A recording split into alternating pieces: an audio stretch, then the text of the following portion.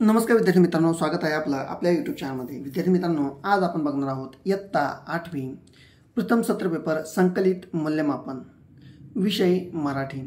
एकूण पन्नास गुणांचा आपला पेपर असणार आहे आणि यासाठी आपल्याला वेळ आहे दोन तास.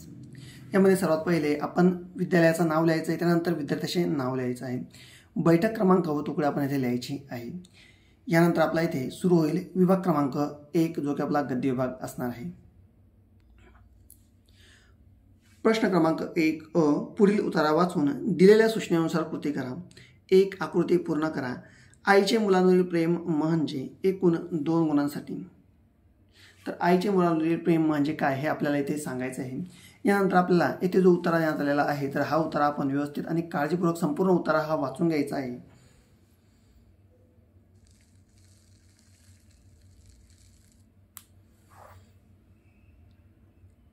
यानंतर यामध्ये दोन चूक की बरोबर ते लिहायचं आहे. देशावर प्रेम कर करणे म्हणजेच देशाच्या भूमीवर व भूमिपत्रांवर प्रेम करणे होय. दोन केवळ भूमिपत्रांवरच प्रेम करणे म्हणजेच देशप्रेम होय. एकूण दोन गुणांसाठी. यानंतर यामध्ये तीन व्याकरण कृती पहिलं पुढील तक्ता पूर्ण करा. मुलगा मुलगी स्त्री पुरुष मामा मावशी आजोबा बहीण वडील आई. तर यांचे आपल्याला वर्गीकरण करायचे आहे. पुल्लिंग व स्त्रीलिंग या दोघांमध्ये आपल्याला यांचे वर्गी वर्गीकरण हे करायचे आहे. यानंतर चार स्वमत. तुमच्या आईचे तुमच्यावरील प्रेम व्यक्त करणारा एखादा प्रसंग थोडक्यात लिहायचा आहे. एकूण दोन गुणांचा. तर ज्या वेळेस एखाद्या वेळेस आजारी पडतो किंवा कोणतंही जर आपल्यावर संकट आलं तर आपली आई आपल्यावर कशा प्रकारे प्रेम करते? तर एखादा प्रसंग आपल्याला यामध्ये सांगायचा आहे. यानंतर यामध्ये आ खाली दिलेल्या उत्तराच्या आधारे सूचनेनुसार कृती करायची आहे.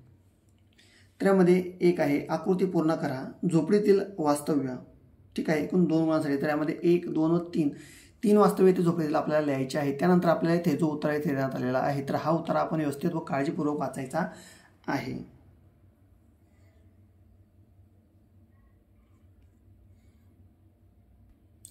आपण इथे व्हिडिओ पॉज करायचा आहे व जो उत्तर आपल्या इथे लिहिला आहे तर संपूर्ण उत्तर आपण व्यवस्थितपणे यामध्ये वाचून घ्यायचं आहे.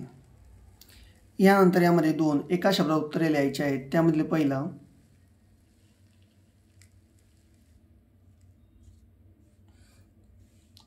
विठ्ठल उमप यांच्यासमोर अण्णाभाऊंना मिळालेले कथेचे मानधन.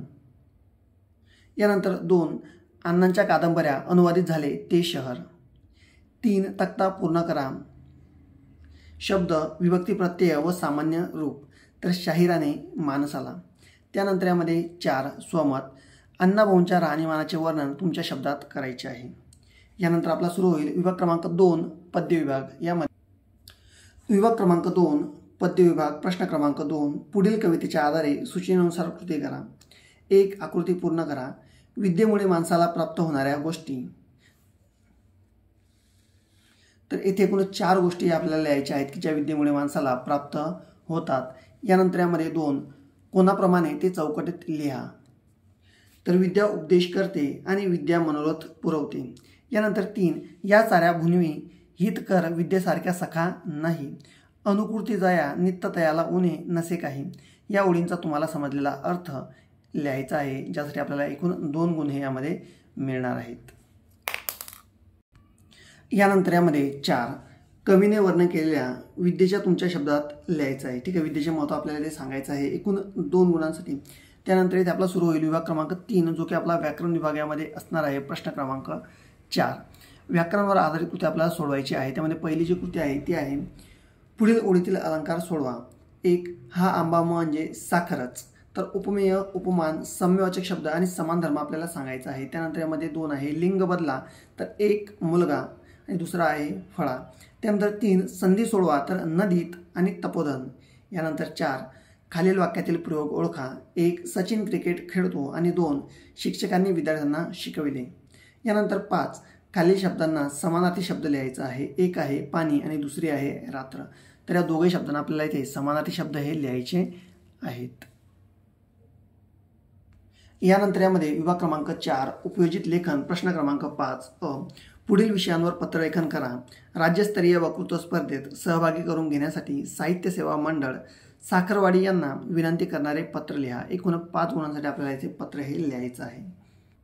यानंतर यामध्ये आ खालील जाहिरातींचे वाचन करून दिलेल्या प्रश्नांची उत्तरेही लिहायची आहेत आपल्याला. तर इथे आपल्याला जी जाहिरात दिलेली आहे तर या जाहिरातींचे वाचन करायचं आहे व प्रश्नांची उत्तरेही लिहायची आहेत. ठीक आहे? जाहिरातीचा विषय जाहिरातीत यामध्ये सर्वात पहिले लिहायचं आहे तर जाहिरातीचा विषय जाहिरात देणारे तीन वरील जाहिरात सर्वात जास्त आकर्षित करून घेणारे दोन घटक लिहा आणि यामध्ये चार आहे तर जाहिरात कोणासाठी दिलेली आहे ते आपल्याला इथे सांगायचं आहे. यानंतर यामध्ये पुढीलपैकी कोणत्याही एका विषयावर निबंध लिहायचा आहे. पहिला आहे मी झाड बोलतोय आणि दोन मी सैनिक झालो तर एकूण सहा गुणांसाठी आपल्याला इथे निबंध हा लिहायचा आहे. विद्यार्थी मित्रांनो व्हिडिओ जर आवडला असेल तर व्हिडिओला नक्कीच लाईक करायचं आहे आणि हो आपण जर चॅनलवर नवीन असाल तर सबस्क्राईब करायचं आहे. धन्यवाद.